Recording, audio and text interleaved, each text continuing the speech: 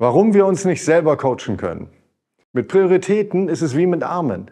Jeder, der denkt, er hätte mehr als zwei, der lügt entweder oder er spinnt, sagte einst der berühmte Blogger Merlin Mann. Und wie einst Baron von Münchhausen versuchen sich aber viele ambitionierte Menschen immer wieder, sich an den eigenen Haaren aus dem Sumpf zu ziehen. Sie versuchen sich selber zu mehr Effektivität und Leistung zu coachen. Das klappt in der Regel nicht.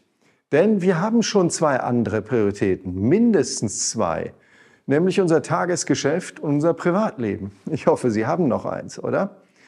Das Wort Priorität bezeichnet den Vorrang einer Sache gegenüber allen anderen Sachen. Und laut Duden existiert in dieser Bedeutung auch kein Plural. Es gibt also gar keine Prioritäten, sondern nur eine Priorität. Das Wort existierte bis zum Anfang des letzten Jahrhunderts folgerichtig nur in der Einzahl. Es kann eben nur eine Sache mit dem absoluten Vorrang geben. Heutzutage sprechen Führungskräfte aber stolz von ihren vielen Prioritäten und verfolgen tatsächlich keine konsequent. Wenn wir aber unser eigenes eingeschliffenes Verhalten nach, nachhaltig verändern wollen, müssen wir dieser bewussten Veränderung höchste Priorität geben.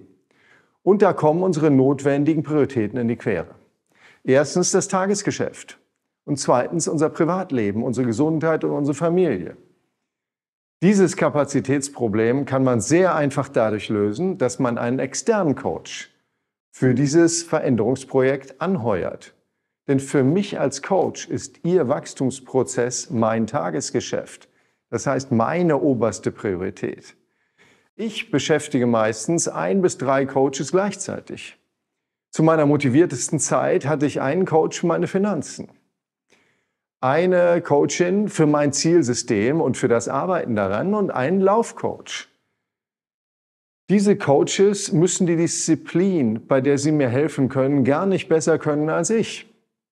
Mein Finanzcoach zum Beispiel hatte, glaube ich, sowohl weniger Einkommen als auch weniger Vermögen als ich. Das macht aber nichts. Er hat mir trotzdem sehr viel weitergeholfen. Coaches müssen mir nur dabei helfen, wirklich das zu tun, was ich mir vorgenommen habe, weil ich weiß, dass es mich in Richtung meiner Ziele voranbringt. Mein Fitnesscoach zum Beispiel, der sitzt irgendwo in England und ich bin ihm nie persönlich begegnet. Aber er fragt mich jeden Morgen per WhatsApp sinngemäß, und Thomas, hast du heute Morgen deine 10 Minuten Yoga gemacht? Warst du mehr als 40 Minuten laufen, wie du es dir vorgenommen hast? Hast du zwei Runden Krafttraining gemacht? Er könnte auch einfach in die Statistik meines Fitness-Trackers schauen.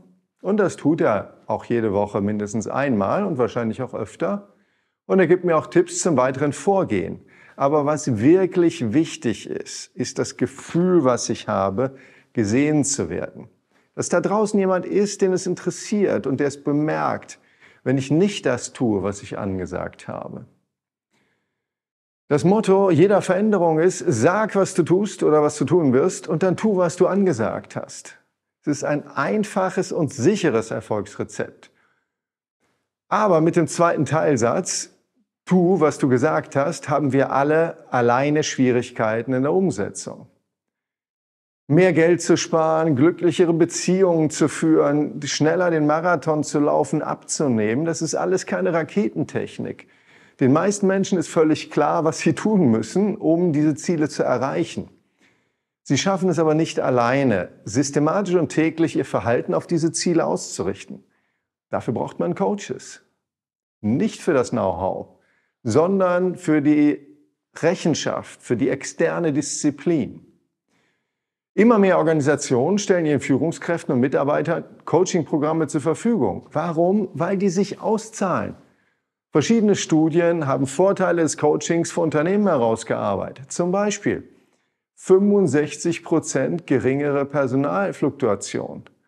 Ich habe diese Studien alle unten verlinkt. 21 Prozent höhere Produktivität laut einer Accenture-Studie. Möchten Sie mehr über unsere flexiblen Coaching-Programme erfahren?